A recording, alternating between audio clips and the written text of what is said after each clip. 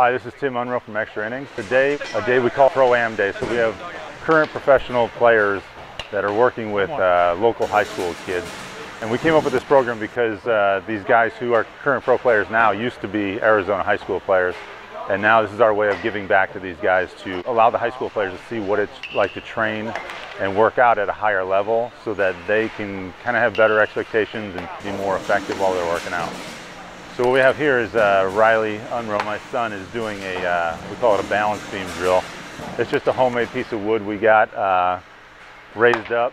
And all it is is uh, just trying to keep your balance, quieting your lower half, throwing your hands. This thing will give you instant feedback. Definitely helps uh, in every way. Just being nice and easy. If you're swinging too hard, you know this this you can't swing too hard on this, otherwise you're going to be falling off, and you'll notice that. So you have to make adjustments in order to hit the ball square on this drill. Another thing I really like about this is it really quiets the head. The head doesn't move very much. Uh, if, if, your head gets gets crazy and starts flying, you're, you're going to start falling off this thing. So everything's got to stay very quiet, and you just got to trust your hands to the ball. Balance is uh, pretty much everything in a swing. So when we put them on that, and they really calm their swing down, and we, we took the max effort out, and we just used hands and balance.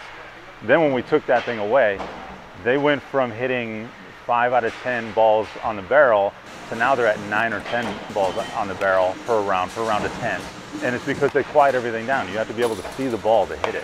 And if you're falling around and your head's moving everything, you're gonna be very inconsistent with contact. So I love that drill for consistency, staying calm, seeing the ball longer.